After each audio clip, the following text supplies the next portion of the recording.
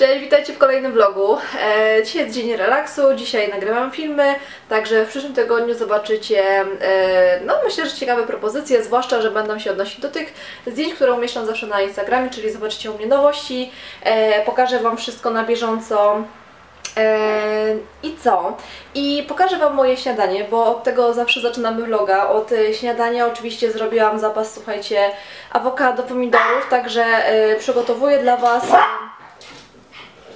Tak, to Morris. Przygotowuję dla Was ogólnie jakby kilka propozycji dań e, z diety bezglutenowej, bo naprawdę dużo się pojawia pytań o przepisy. E, Ja Wam może będę linkować, bo słuchajcie, to nie są moje autorskie przepisy, ja ich sobie nie wymyślam, także jeżeli chodzi o, te, mm, o to śniadanie, które Wam dzisiaj pokażę, to wszystko będziecie miały na bieżąco podlinkowane. Ja Wam zrobię, no wydaje mi się, że w weekend zrobię Wam przepis na ciasto bananowe. O, właśnie, może zrobię Wam przepis, bo e, o ciasto się najbardziej pytałyście, byłyście ciekawe, jak można zrobić takie bezglutenowe ciasto. Zwłaszcza, że nie musicie żadnych naprawdę specjalnych em, produktów kupować. Także pokażę Wam e, moje śniadanie. I co? I zaczynamy od e, kawy. Może troszeczkę przybliżę się Wam. O. E, kawa, słuchajcie, to jest w ogóle kubek Latana, to jest e, specjalny podobno kubek grafików i najlepsze jest to, że on pije w moim kubku, który ja kupiłam ostatnio w Rossmanie, pokazywałam Wam chyba, to była ta walentynkowa wersja, bo po prostu to jest nasz największy kubek, a ja piję w tym, jakoś go sobie nie wiem, przypadł mi do gustu, e, mleko, e, mleko bez laktozy, kawa. I zrobiłam właśnie naleśniki, na pewno będziecie o nie pytać, bo to są naleśniki na mące gryczanej, lekko dodałam, delikatnie dodałam mąki ryżowej, kukurydzianej, czyli cały miszmasz jaki miałam w ogóle w domu. Starłam jabłuszka, dodałam dwa jajka, tam jest chyba 10 czubatych łyżek kaszy gryczanej, 4 łyżki chyba kaszy kukurydzianej, do, dodałam troszeczkę kaszy ryżowej, ponieważ mi zabrakło kukurydzianej i dzisiaj ją właśnie dokupię. I co tam, dwa jajka, pół łyżki su- soda, olej, mleko, cukier możemy sobie dodać. No, także to wszystko zmieszałam i wyszły mi takie placki gryczane i polejemy je e, syropem klonowym. Też widziałam w Rossmanie, widziałam ostatnio w Carrefourze e, syrop, także no fajna sprawa, bardzo mi się podoba, e, jeżeli chodzi o, e, e, o naleśniki. Uwielbiam po prostu teraz ostatnio jeść słodkie naleśniki, a te nawet na ten dział do pracy bardzo mi smakują, także super. Moim zdaniem bardzo fajna alternatywa dla osób, które e, nie lubią rano kanapek, także na pewno te naleśniki pojawią się właśnie w tym filmiku. Także zaraz będziemy jeść śniadanie i pokażę Wam Morisa. O, właśnie skarpetkę ma. Morisek, chodź tutaj się pokaż. Zobaczcie. To jest Morris. Morris jest e, wygolony z jednej strony. No wygląda to masakrycznie, ale słuchajcie, miał guska, e, czy miał krwiaka, bo się gdzieś uderzył, bo on jest w ogóle, słuchajcie, bardzo e, żywym pieskiem, więc naprawdę musimy na niego uważać. E, I ten fizjoterapeuta właśnie u nas, mamy takiego bardzo dobrego doktora, doktor Jachman. On na pewno w Łodzi będzie Wam znany. I no chodź tu się jeszcze pokaż. I właśnie tutaj fizjoterapeuta mu wygolił. Oczywiście zawsze się pyta właściciela, czy życzy sobie, ponieważ ultradźwięki nie dotrą, nie dotrą właśnie przez, przez ten, przez sierść, także Morris jest, słuchajcie, wygolony. Także tak to wygląda. E, Teraz będzie mu odrastać, słuchajcie, ta sierść. No chodź tutaj, tak, z myszką jesteś, tak? Będzie mu odrastać ta sierść, no i zobaczymy jak to będzie, bo powiem Wam szczerze, że wygląda... Wygląda jakby, nie wiem, pies go pogryzł ogólnie, tylko że właśnie bez, bez rany, także e, dobrze, że mamy ten e, jego kubraczek czarny, to po prostu tego nie będzie, nie będzie widać. E, No i co, zabieramy się za śniadanie i później do Was e, wrócę. Zobaczcie, co przysłało Ewre. W ogóle wygląda to jak apteczka, także z Natanem się śmialiśmy, że e, po prostu przełożymy sobie tam jakieś e, leki. I to jest e, ta seria Instant Help. Ja szukałam właśnie inspiracji na filmik z takim zimowym niezbędnikiem, także przetestujemy te kosmetyki i zobaczymy, czy się pojawią one w filmie.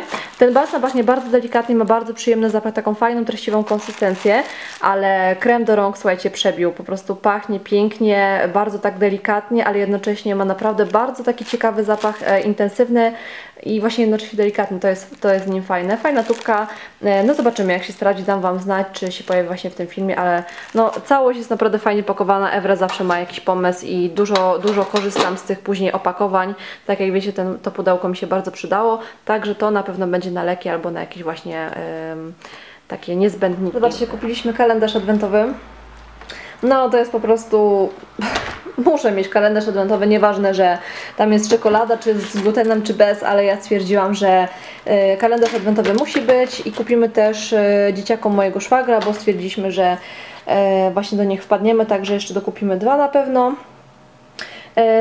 Nie wiem, dajcie znać w ogóle, czy kalendarze adwentowe nadal, mimo że macie 20, 30 czy 40 lat, pojawiają się u Was w domu.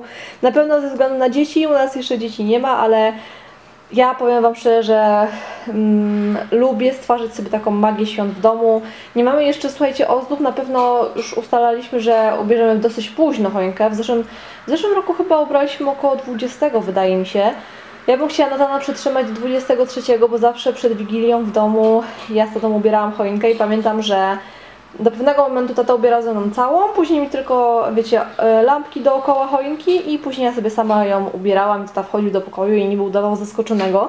Także kalendarz adwentowy to jest jedna z tych rzeczy, która właśnie mm, no, wprawia mnie jeszcze, wprawia mnie w ogóle w nastrój świąteczny i na pewno od 1 grudnia będziemy po kolei jeść te czekoladki. Także dajcie znać, czy u Was też się pojawi kalendarz adwentowy, jestem bardzo ciekawa.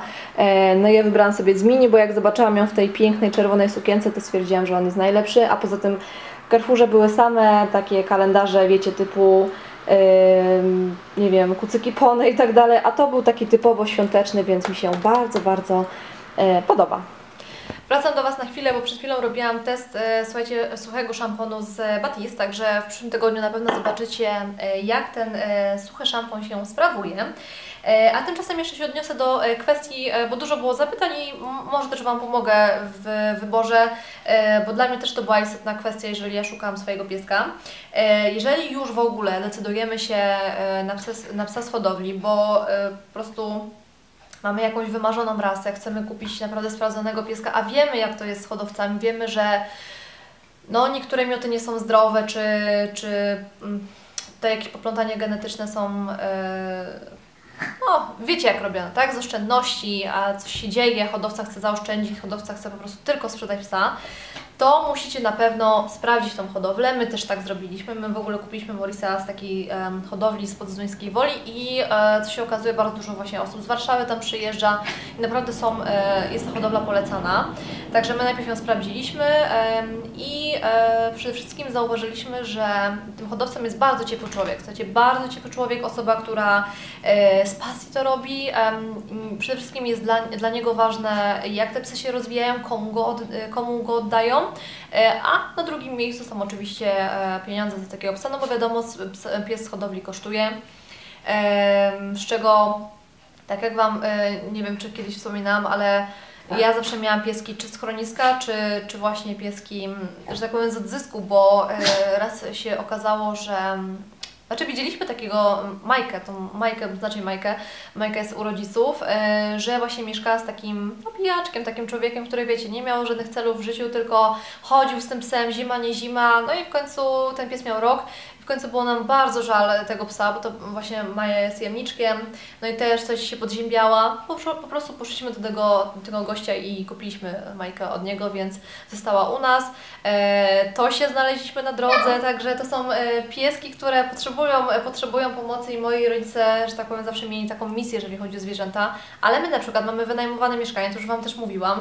E, nie chcieliśmy robić kłopotu, e, chcieliśmy mieć pieska, którego możemy wszędzie zabrać, e, jest łatwy też do przewożenia, przewożenia, jest y, takim psem też przede wszystkim do ułożenia, bo Chihuahua jest psem, który wbrew pozorom jest bardzo prosty do ułożenia i w zależności od tego, który z właścicieli do niego mówi, on też się inaczej zachowuje, bo powiem Wam szczerze, że naprawdę e, Morris zupełnie inaczej się zachowuje do mnie, a inaczej do Natana. Na przykład, on ma zupełnie inne do nas podejście i diametralnie się zmienia, jeżeli Natan coś do niego mówi, Um, no bo tak, by the way, to Natana się bardziej boi zawsze, jak ja na niego coś tam krzyknę, to on ma mnie gdzieś, a Natan jak coś do niego powie, to on siedzi się do niego patrzy i taki hmm, no rzeczywiście chyba muszę to przemyśleć.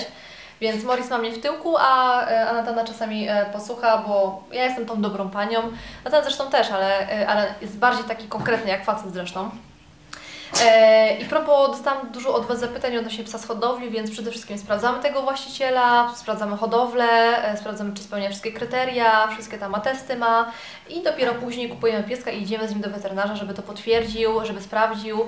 E, U Morisa było wszystko w porządku, e, także pies jest E, sprawdzony. pies no oczywiście, słuchajcie, no jak, jak to ludzie, e, ktoś musi zawsze skrytykować, że ktoś bierze psa z hodowli, tak się okazało z jedną osobą, ale to na Facebooku, więc to słuchajcie, nie ma, nie ma o czym gadać, ale śmieszą mnie takie osoby, to dla mnie, nawet Natan mówi, że to jest żenujące, że e, ludzie zaglądają komuś do portfela, słuchajcie, są nie wiem, czy zazdrości, czy e, po prostu są takie osoby na YouTubie, ja mam rzadko takie osoby, ale jeżeli już, to jest taka osoba, która lubi tą szpilę wbić, żeby ktoś zauważył, że o, chyba z nią jest nie za bardzo w porządku, bo ona wzięła psa z hodowli.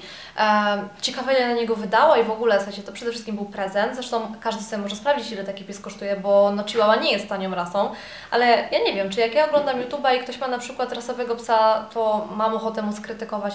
O matko, jesteś wyrodna. Nie, ty musisz wziąć psa ze schroniska. E, Ja mam w sobie dużo empatii, my w ogóle mamy dużo empatii, ale po prostu e, ja zawsze marzyłam o małym psie i chciałam mieć chihuahua, to było moje marzenie i jeżeli chodzi o marzenia, to trzeba je spełniać, a nie oglądać się na to, czy ktoś Cię skrytykuje, czy nie. Zresztą powiem Wam szczerze, że jeżeli chodzi o to, mm, bo są, są oczywiście osoby krytykowane, że kupują kremę za 500 zł, czy kupują bluzkę za 20, tak jak Wam mówiłam, tak? W ostatnim vlogu, że, czy tam przedostatnim, że czasami są osoby, które no, potrafią skrytykować, że ktoś kupił e, tanie ubrania, a wydaje tyle, tyle na kremy. No i mnie rzadko spotyka krytyka, to wiecie, I też się czasami dziwicie z, z tej krytyki, ale powiem Wam szczerze, że takie osoby, które w taki sposób piszą, że ciekawe ile zapłaciłeś za tego psa, to są po prostu żenujące. To jest, to jest nawet, nie wiem, nie wiem czy można skrytykować taką osobę, bo to po prostu mi jest jej bardzo, bardzo żal, ale e, to jest, słuchajcie, temat na zupełnie inną rozmowę, ale myślę, że każdy ma swój rozum i każdy widzi taką osobę, która jest zołzowata i nie, nie wiem jak to nawet nazwać, bo ja bym w życiu nikomu nie skomentowała, że nie adoptuj pieska, w ogóle jesteś wyrodna, jesteś e, w ogóle do dupy, że e, psa z hodowli, zresztą tak jak, ta, tak jak Natan powiedział, to jest po prostu śmieszna osoba.